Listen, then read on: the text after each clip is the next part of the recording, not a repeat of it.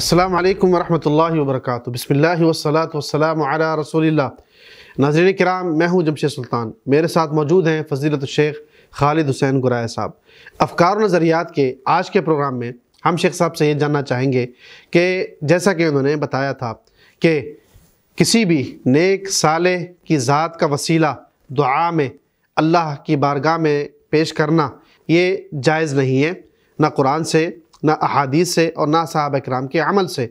तो बाज़ लोग ये आयत मुबारक पेश करते हैं इस नज़रिए को साबित करने के लिए कि किसी भी नेक साले को ज़िंदा या उसकी वफ़ात के बाद भी वसीला बनाया जा सकता है। और वो आयत मुबारक है, वलो अन्नहुम इज़्ज़लमु अनफुसहुम जाऊ का फ़स्तगफ़रुल्लाह वस्तगफ़रलहुमुर्रसूल तो इस आयत मुबारक की तशरी भी बयान करें और क्या इससे किसी भी नेक साले की ज़ात ज़िंदा या उसके वफ़ात पा जाने के बाद हम उसका वसीला बना सकते हैं या नहीं? जी शेख साहब। बसमीम रसूल वसहबी वमन वाला बाद आपने शेख मोहतरम इंतहाई अहम सवाल जो लोगों की तरफ़ से जो मुमन किया जाता है, वो उठाया है। देखें, ये दीन जो है ये नबी करीम सल्लल्लाहु अलैहि वसल्लम के बताए हुए तरीके के मुताबिक इस पर अमल किया जाए तो फिर ही कामयाबी है। अब जैसे जो आयत आपने पेश की है, वलो अन्नहुम इज़लम अनफुसहम जाऊ का फ़स्तफ़रल्ला वस्तफ़र लवजदुल्ला तवाबरहीमा ये सूर निसा की चौंसठ नंबर आयत है। इस आयत में लोग ये समझते हैं, लोगों को ये शुबा होता है कि जैसे आयत में यह कहा गया कि जब वो अपने नफ्सों पर जुल्म करें, फिर ए नबी पास आपके पास आएँ और फिर वो अल्लाह से बख्शिश मांगे और नबी पास उनके लिए इस्तफ़ार करें तो अल्लाह ताला उन्हें माफ़ फरमा देंगे। लोगों को यहाँ गलत फहमी ये हुई है कि ये आप की ज़िंदगी के, यानी कि वफ़ात के बाद भी ऐसे किया जा सकता है। कि आप सल्लल्लाहु अलैहि वसल्लम की कब्र मुबारक पर आएँ, आकर जो है वो दुआ करें तो नबी पाक वसल्लम को वसीला बनाए। आप सल्लम जो है उनके लिए इस्तफ़ार करते हैं और उनकी मगफ़रत हो जाती है। ये समझ और ये जो फ़हम लिया गया है, ये फ़हम गलत है। क्योंकि आयत पर आप गौर करें, आयत में ये लफ्ज़ हैं कि जाऊ का जाऊ कब्र का नहीं है। किसी के पास आना या किसी की खबर पाना दोनों में फ़र्क है। और अरबी इतनी फसी ज़बान है, अगर इससे खबर भी मुराद होती तो अल्लाह तबारक ताली उसमें वो अल्फाज कब्र के भी दे देते या नबी करीम वसल्लम भी वजाहत अपनी में फरमा देते इसके। तो जाऊ का आपके पास आएँ। इस आयत का तल्लुक़ आप की ज़िंदगी के साथ है। दूसरा इस आयत का बैकग्राउंड देखें। आप शुरू से अगर आयत देखते हैं कि ये मुनाफिकीन के बारे में है। कि अल्लाह ताला फरमाते हैं कि, अलम तराजीन यज़मून अनहम आमन बिमा उनजिल वमा उनजिल मिन कबल का युरीदून यतहाकम तागूत। कि ए नबी पाक सल्लम क्या आपने उन लोगों को नहीं देखा जो ये समझते हैं कि वो आप पर ईमान ले आए हैं, जो आप पर उतरा है और जो आपसे पहले उतरा है? दावा तो ये करते हैं कि ईमान ले आए हैं। युरीदुना तागूत इसके बावजूद फिर वो तागूत के पास, यानी कि वो मुनाफिकीन क्या करते थे? यहूदियों को, मुशरकों को फ़ैसल बनाते थे। तो उसके बावजूद ये तागूत के पास फ़ैसला करवाने जाते हैं। वक़द उमिर यकफरू भी उसके बाद आगे आयत अल्लाह तबारक ताली मजीद फरमाते हैं कि इज़ाक़ील अलहम हम रसूल रईतलमुनाफ़िन यसुद्दून का सदूदा। कि जब इनसे ये कहा जाता है कि आओ जो अल्लाह ने नाजिल फरमाया है और रसूल की तरफ़ आओ तो आप मुनाफिकीन को देखेंगे कि वो आपसे मुँह फेरे रुके जा रहे हैं, यानी आपकी तरफ़ फैसला करवाने के लिए नहीं आ रहे।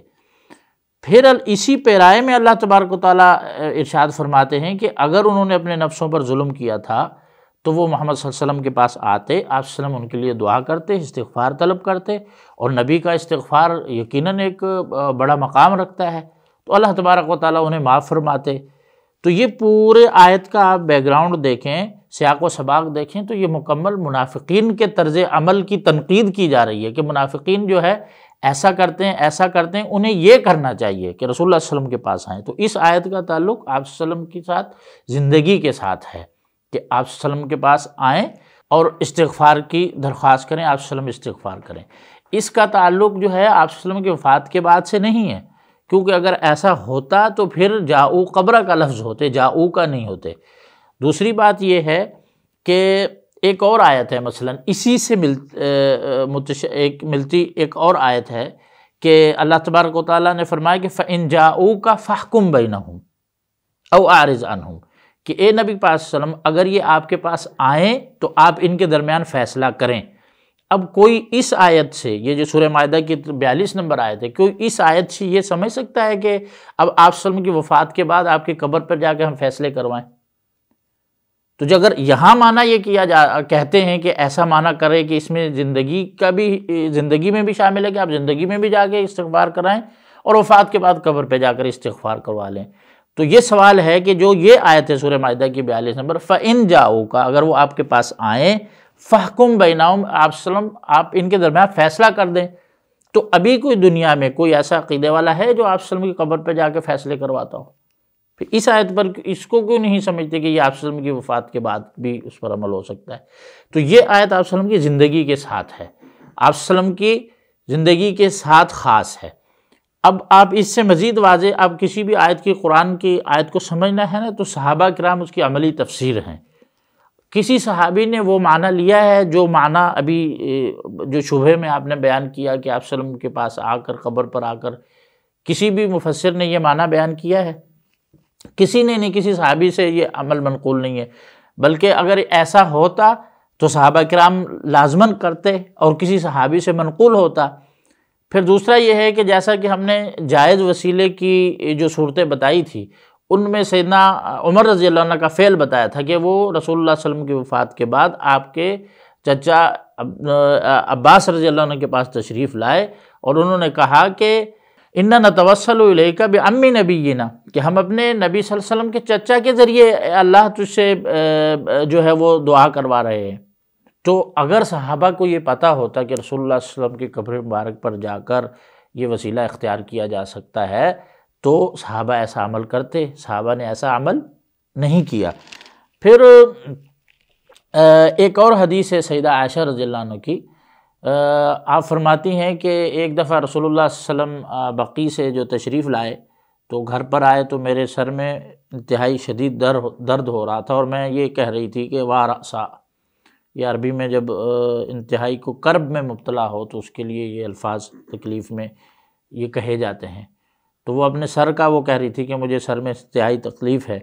तो रसूलुल्लाह वसल्लम ने उस वक़्त अजराहे, यानी कि समझे कि एक, अजराहे एक, जिसको कहते हैं आप मज़ाक कह लें, या इस तरह आप सलम ने सैदा आयशा को फरमाया कि सैदा आयशा अगर आप फोत हो गई तो मैं जो है आप अना और मैं ज़िंदा रहा तो मैं आपको गसल भी दूँगा, कफन भी दूँगा।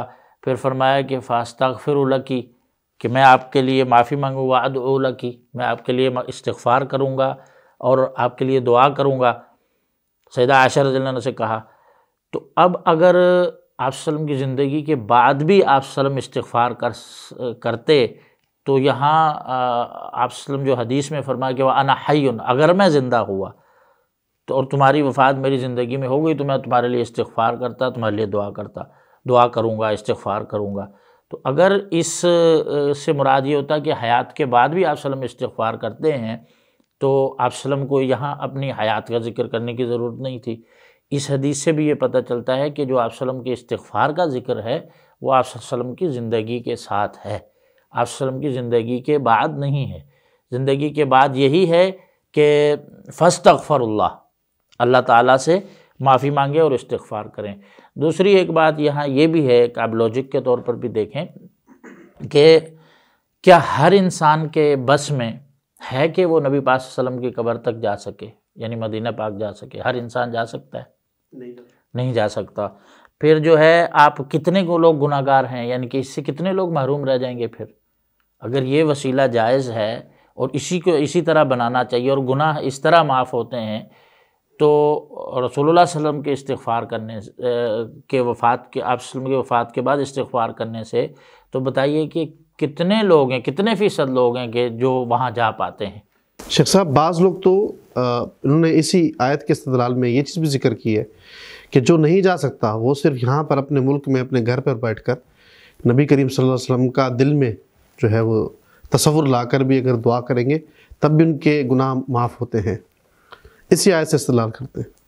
नहीं इस आयत में तो जाऊ का ज़िक्र है। जी जी। अगर सिर्फ़ दिल घर में बैठकर और दिल में सोचकर इस्तगफार मांगना होता तो फिर तो आने का ज़िक्र ही ना होता। फिर तो ये होता कि आप जहाँ पर भी मांगना चाहें मांग सकते हैं। जाऊक की कैद ही नहीं लगाई जाती। बल्कि अल्लाह तबारक ताली ने यह ज़िक्र किया है कि जाऊक आपके पास आए। ठीक है तो अगर वो दिल में ही कर सकते थे तो फिर आने की कैद लगाने की ज़रूरत नहीं थी।